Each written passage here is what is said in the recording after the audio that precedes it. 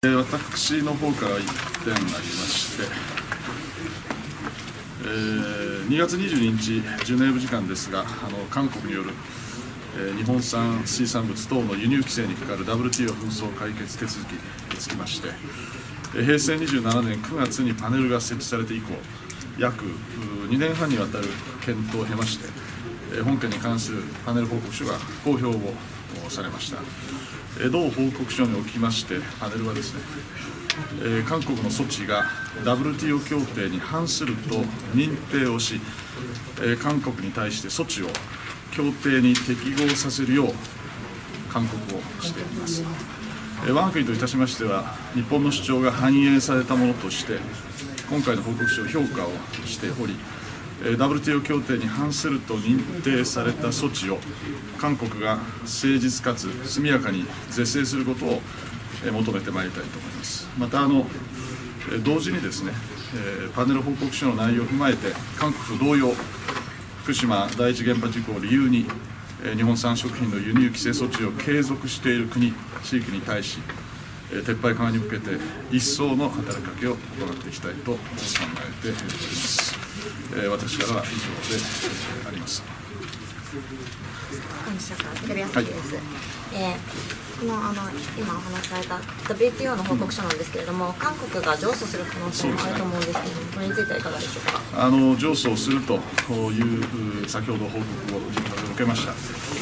えーまああのおパネル設置からですねすでにですね2年半が経過をしております。でこれで韓国がですねパネルにより WTO 協定に反すると認定された措置を撤廃せずにですね、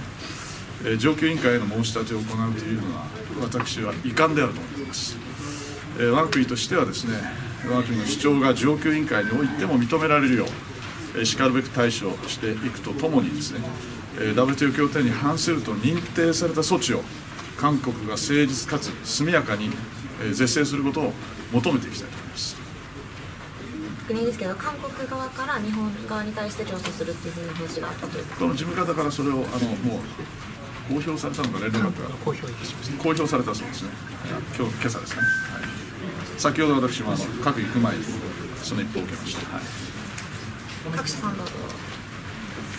どうぞ。時通信の参考です今の韓国の件なんですけれども、はい今後あの仮に上訴された場合実際に上訴された場合はあの WTO のルールの方も少ないということで結構時間がかかってしまうんじゃないかと思うんですがどれどのような働き方まあ、我々としてはあのできるだけ速やかにですねあの決定が出るように働きかけるとともにですねえ韓国に対しても今回の韓国に何とか従っていただきたいという働きかけも同時にあるそうですね、はい、強く要請していたいと思います。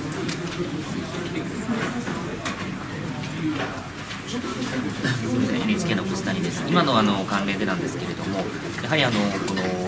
島といいますと東北の方々からしますとですね、これだけ長い間こう止まっているって言いますかね、その状況っていうことに対してはかなりこう懸念といいますか、そういった部分もあるかと思うんですが、まあそういった意味で今回の決定の意味合い、さらにはちょっと韓国のこういった対応について改めてお聞かせください。まああの福島の皆さんあるいはその今回、えー規制を受けている皆さん方のお気持ちが非常によく分かります。まあ、我々としてもこれまで、韓国にもあの全力で働きかけてきましたし、えーまあ、パネルにつきましてはこれ WTO のルールに従って、えー行われていることでありますので、えー私どもとしてはですねルールそのものに言及することは、えー控えなくちゃいけないと思っておりますけれどもやはりあの実際に影響を受けている方々を考えればできるだけ速やかに結論が出るということが大事だと思っていますので、えー努力していきたいと思います。何ございますか？すいません。えっと新た、えー今まで継続している取り組み以外に新たにあの何か WTO に対する新しい働きかけとかっていうまあ、まだあの今朝 上訴っていうことだったんで、えー当面の対応はちょっとまだ出れていない状況でありますけれども、まあ、科学的根拠に基づいてですね主張してそれが認められたということでありますのでやはり韓国にはそれを重く受け止めていただきたいと思います。